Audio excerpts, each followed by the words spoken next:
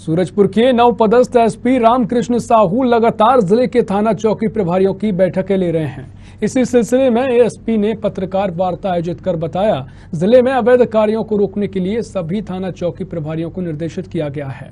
साथ ही कानून व्यवस्था बनाए रखने के लिए अवैध गतिविधियों के खिलाफ अभियान भी चलाया जा रहा है।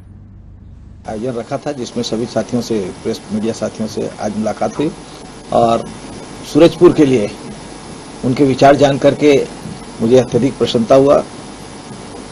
पुलिस के विचार और जो मीडिया के साथियों के विचार जो है, एक ही रास्ते के विचार हैं, सभी का जो है विचार अपराध को जो रोकने, अपराध पर नियंत्रण करने और पीड़ित जनता को न्याय दिलाने की यही है। और ये बहुत ही मुझे अच्छा लगा और हम आशा करते हैं इसी तरीके से विचारों को लेकर के। और इस बुलेटिन में इतना ही, देश और प्रदेश की और भी खबरों के लिए देखते रहिए साधना न्यूज़ नमस्कार।